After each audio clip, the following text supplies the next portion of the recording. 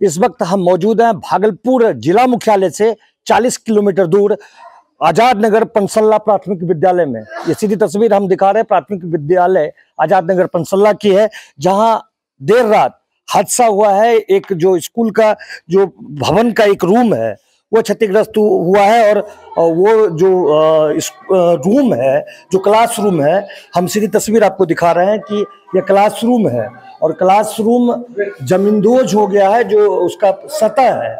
सतह यहाँ पर नीचे ढह गया है और जिसके कारण एक बड़ा हादसा यहाँ टला है। गनीमत की रात में, देर रात यह घटना घटी है और ये सीधी तस्वीर हम दिखा रहे हैं। यह प्राथमिक विद्यालय आज़ाद नगर पंसल्ला की है, जो भागलपुर जिला मुख्यालय से महज 40 किलोमीटर दूरी पर स्थित है और जिस तरह से यह क्लासरूम का जो सतह है, वह पूरी तरह से ज़मीन जमींदोज हो गया है। यदि यह घटना क्लास चलते वक्त होती तो एक बड़ी घटना घट सकती थी हमारे साथ। आ, इस स्कूल के प्राचार्य हैं। प्राचार्य हैं नंद किशोर सिंह जी। हाँ क्या मामला है? क्यों इस तरह की व्यवस्था है? मैंने कई बार विभाग को हर एक साल आंकड़ा संग्रह पर्पज में भरकर देते हैं रिपोर्ट कि एक रूम मेरा विद्यालय का दो रूम है जिसमें एक रूम पूर्ण रूपेण क्षतिग्रस्त है। इसकी मरम्मत कराई जाए।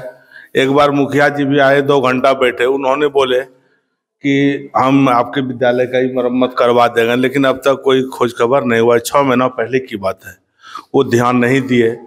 पुनः मैंने जिला में भी रिपोर्ट दिया कि मेरा एक रूम क्षतिग्रस्त है, उसमें बच्चे को नहीं बैठाते हैं। कभी भी भाई, यदि बैठाया जाएगा तो कभी अनोनी घटना घट सकती है। इसलिए हम उसमें नहीं बैठाते हैं। और संजोग बस रात में रूम, आधा रूम टूटकर गिर गया, क्षतिग्रस्त हो गया है। यदि क्लास चलते रहता कितनी नहीं नहीं इसमें हम बरसों से इस रूम में बच्चे को नहीं बैठा रहे हैं। विभाग को भी जानकारी देते हैं। मैडम प्रखंड शिक्षा पदाधिकारी भी आते हैं तो उनको भी बताते हैं। जिला से जो भी आते हैं यदि पूछा जाता है कि इसी में एक ही रूम में काय बैठाते हैं तो उनको बोलते हैं कि सर एक रूम मेरा क्षतिग्रस्त है।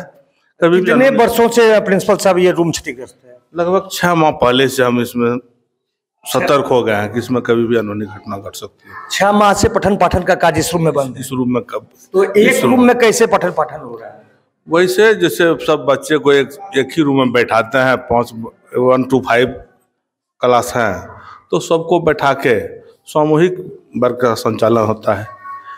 तो आप देख सकते हैं प्रिंसिपल साहब भी साफ़ तौर पर कह रहे हैं कि उन्होंने कई बार विभाग को इसकी जानकारी दी जो जिला शिक्षा पदाधिकारी हैं उनको जानकारी दी, लेकिन अभी तक जो जिला प्रशासन, जो शिक्षा विभाग है, उसकी कुंभकर्णी नींद नहीं टूटी है, जिसके कारण एक ही वर्ग में पाँच कक्षा के छात्र वन टू फाइव के छात्र का पठन पाठन होता है। कुछ स्थानीय लोग हैं।